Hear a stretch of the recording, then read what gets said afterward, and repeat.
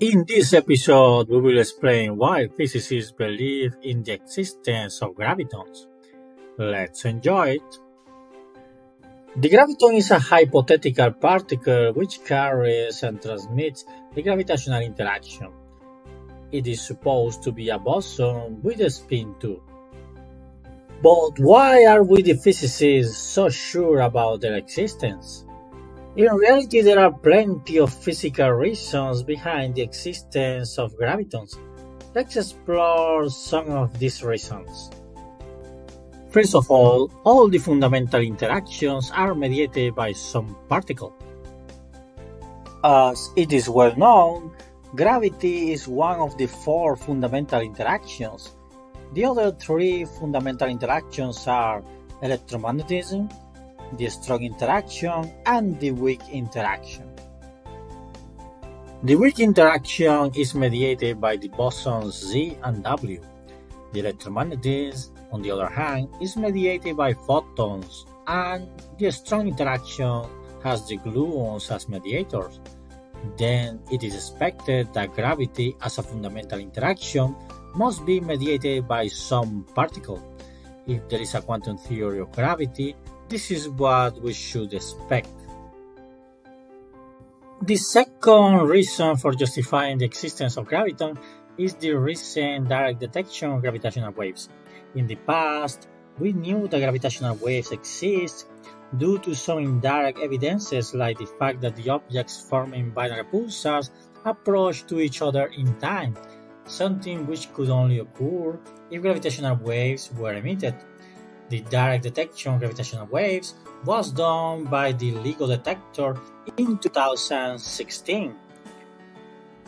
The gravitational waves are basically a bunch of gravitons coming all together with different energies or frequencies. But how can we justify this statement?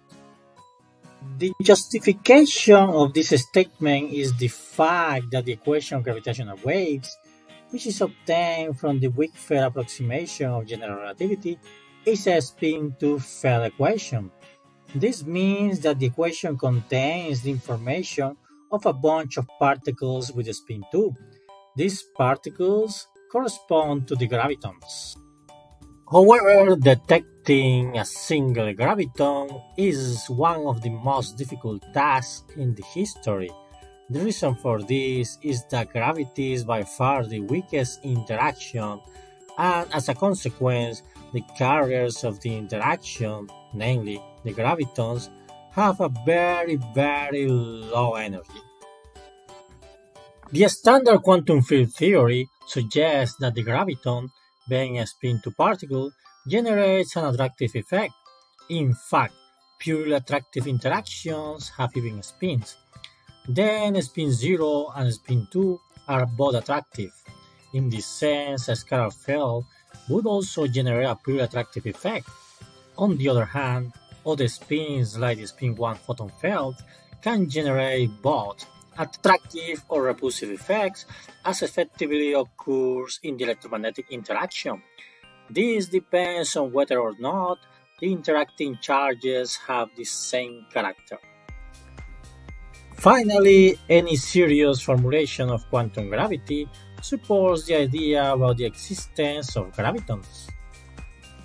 In summary, all the serious theoretical approaches and the current observations support the idea of the fact that the gravitons are real.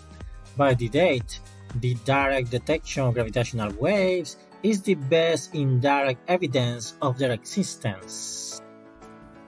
If you liked this video, please give us a like, share the link, and subscribe to the channel. More videos in Spanish and in English are coming very soon. Continue with us.